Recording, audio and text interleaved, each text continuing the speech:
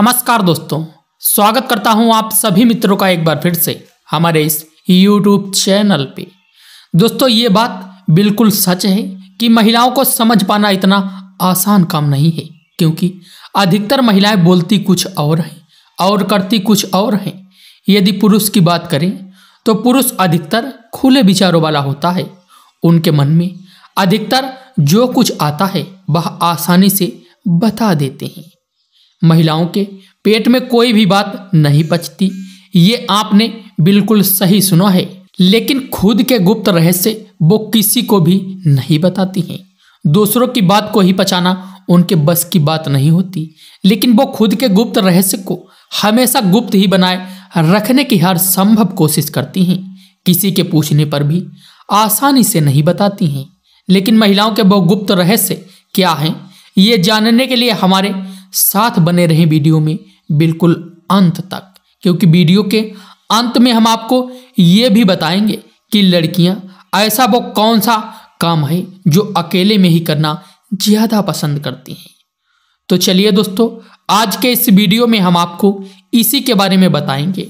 लेकिन वीडियो में आगे बढ़ने से पहले कृपया आप इस वीडियो को लाइक ज़रूर करें। साथ ही चैनल को सब्सक्राइब करके बेल आइकन दबाना बिल्कुल भी ना भूलें। तो चलिए शुरू करते हैं आज का वीडियो। आचार्य चाणक्य के अनुसार महिलाएँ नहीं बताती अपनी शारीरिक ज़रूरत के बारे में।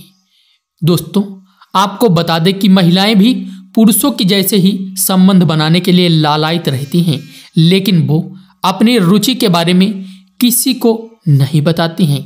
यहाँ तक कि वो अपने पति को भी इस बारे में नहीं बताती हैं इसकी वजह है कि महिलाओं को लगता है कि वो इस बारे में बात करेंगी। तो अन्य लोग क्या सोचेंगे? अधिकतर महिलाएँ इसी वजह से इच्छा को मन में दबाए रखती हैं। आगे आचार्य चाणक्य कहते हैं आमतौर पर महिलाएँ खुलकर गुप्त रहस्यों पर बातें नहीं करती हैं। दोस्तों, आपने यह भी देखा होगा कि पुरुष चाहे वो एक दूसरे से अनजान हो फिर भी आसानी से खुलकर बातें कर लेते हैं। लेकिन महिलाएँ ऐसी बातें दूसरी महिलाओं से खुलकर कभी नहीं करती हैं। आप चाहें तो अपनी पत्नी या महिला मित्र से पूछ सकते हैं। चाणक्य के अनुसार महिलाएँ दिखावा ज़्यादा करती हैं।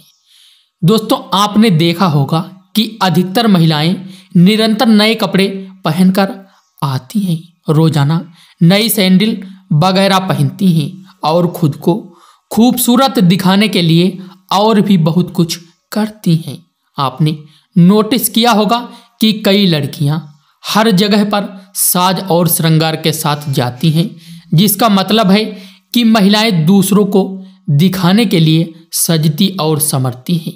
महिलाएँ अपनी खूबसूरती को बढ़ाने के लिए हर संभव कोशिश करती हैं। चाणक्य नीति के अनुसार शारीरिक रूप से असंतुष्ट महिला के अवैध संबंध विकसित होने की संभावना बहुत अधिक होती है। दोस्तों, यदि अवैध संबंधों की बात करें तो अधिकतर महिलाएँ जब शारीरिक रूप से अपने साथी से खुश नहीं होती हैं तो अवैध संबंध का रिश्ता पनप जाता है। अधिकतर कारणों में से अवैध संबंध का यही सबसे बड़ा कारण है। महिलाओं के लिए उनकी शारीरिक ज़रूरत का पूरा नहीं होना उसे पागल बना सकता है। ऐसी स्थिति में वह सही गलत के बारे में कुछ भी नहीं सोचती है। मित्रों, इसके अलावा चाणक्य कहते हैं, हर कुंवारी लड़की अकेले में, अपने राजकुमार के बारे में सोचती है।